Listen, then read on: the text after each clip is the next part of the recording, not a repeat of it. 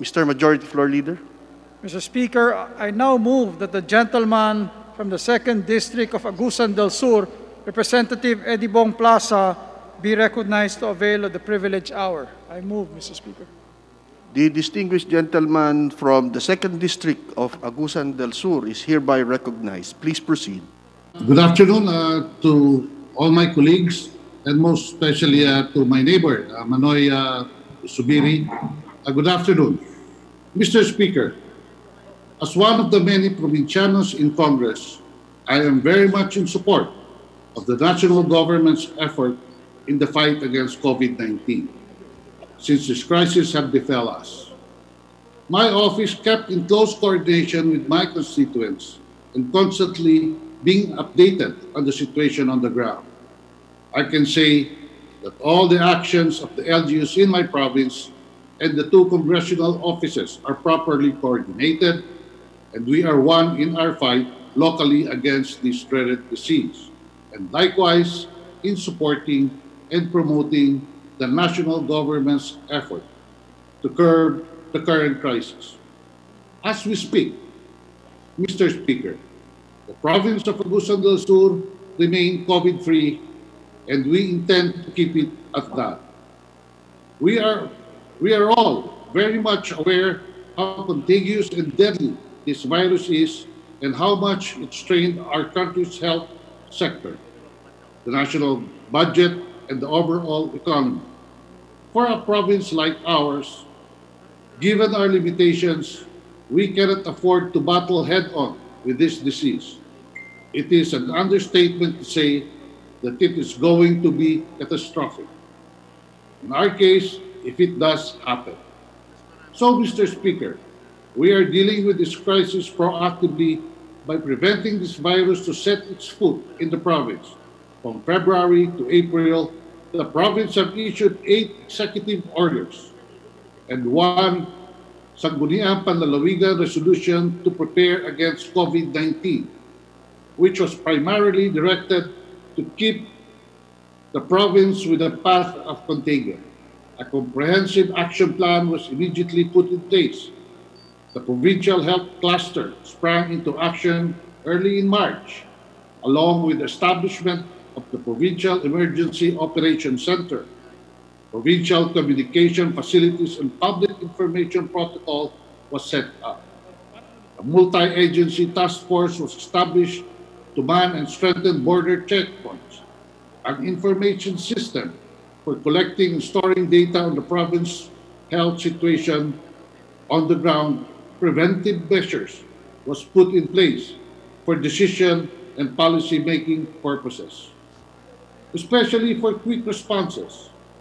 Financial resources were secured, food security plan put in place, provisions for relief, assistance, and incentive for frontliners and volunteers were ready and were actually implemented and being implemented as we remain on alert status. 105 quarantine areas were put up for the entire province. Three managed by the province and 102 are strategically distributed in the city, municipalities, and barangays.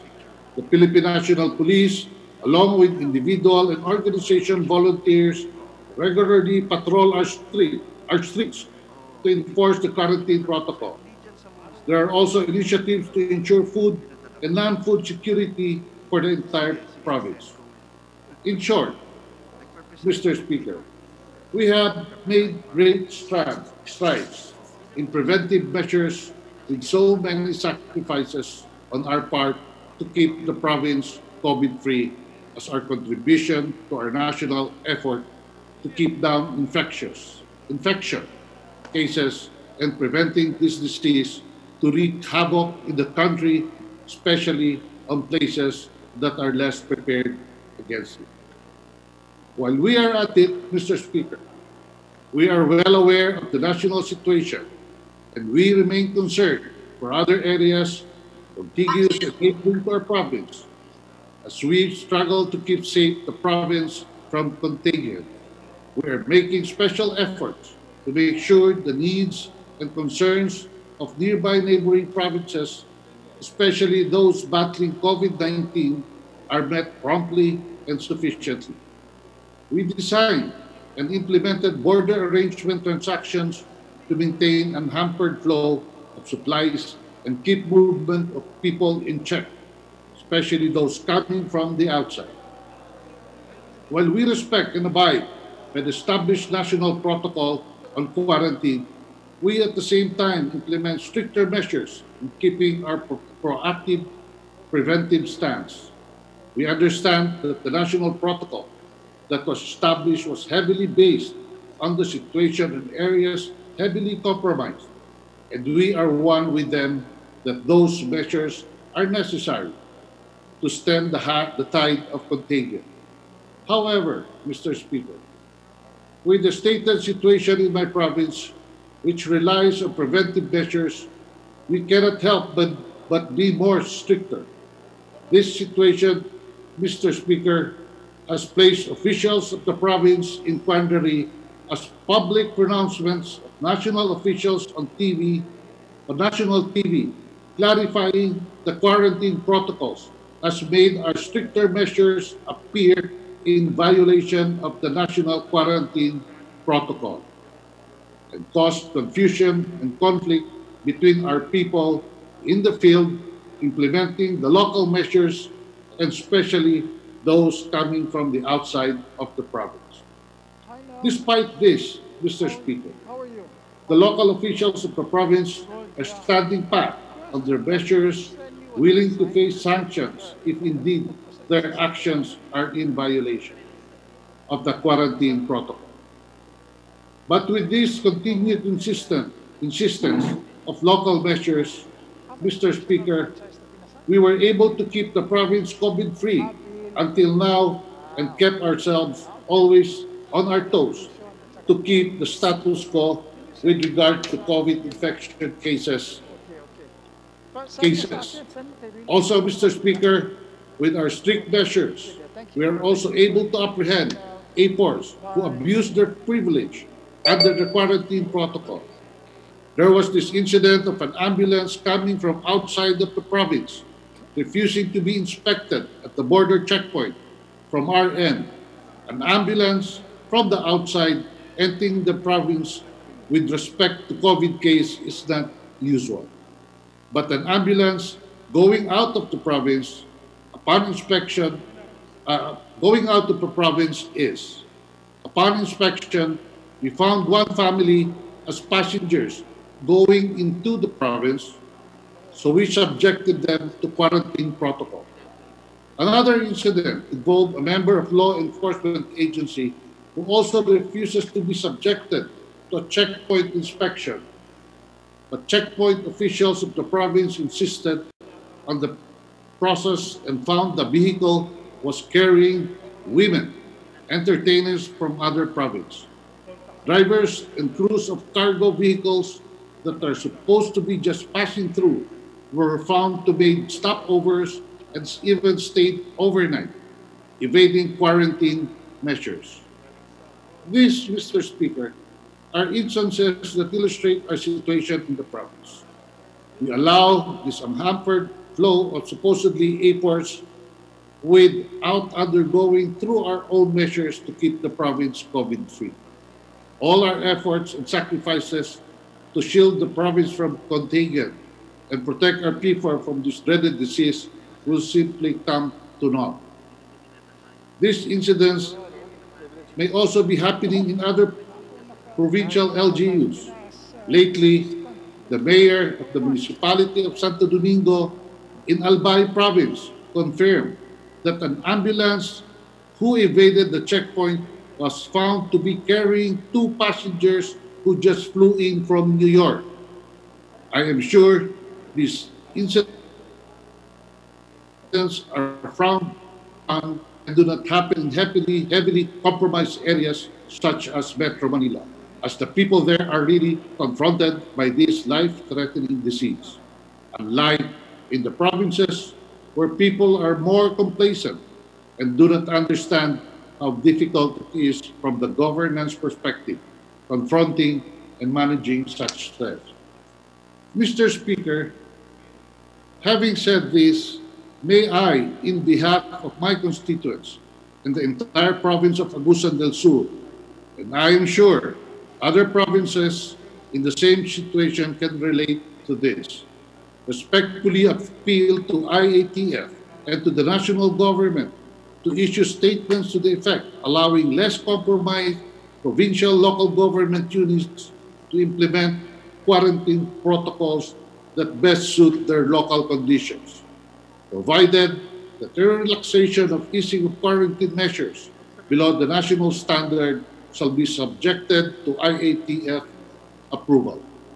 However, stricter measures should not be a problem as long as it does not effectively hamper the overall goal of winning the fight against COVID.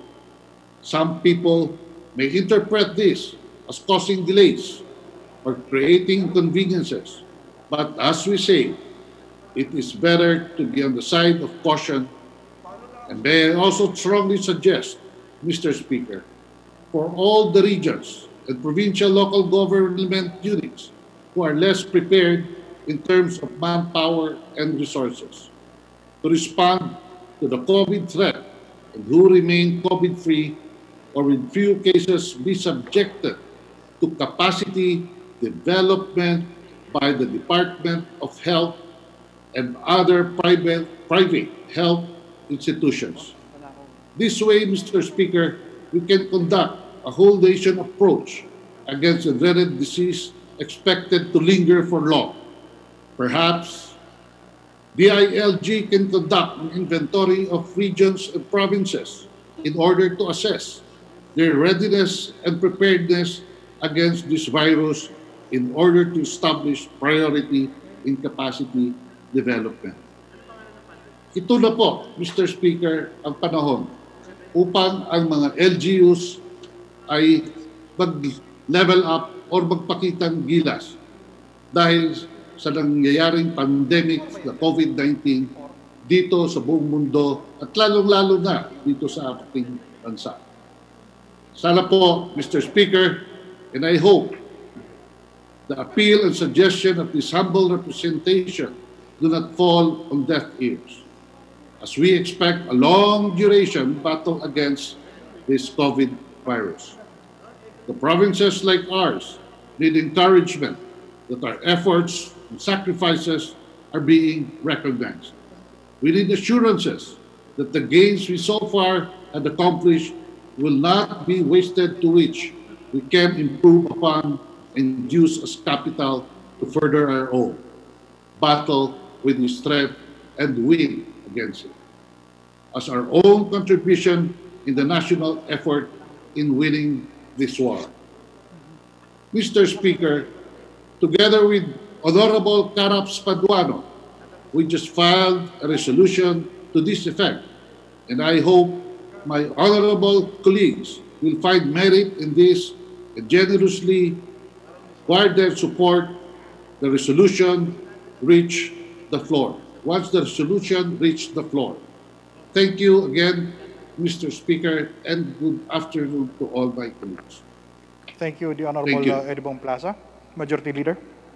Mr. Speaker, I move that we refer the speech of the Honorable Edibong Plaza to the Committee on Rules for its appropriate action. I move so, Mr. Speaker. Is there any objection? Hearing none, same is approved. Majority Leader.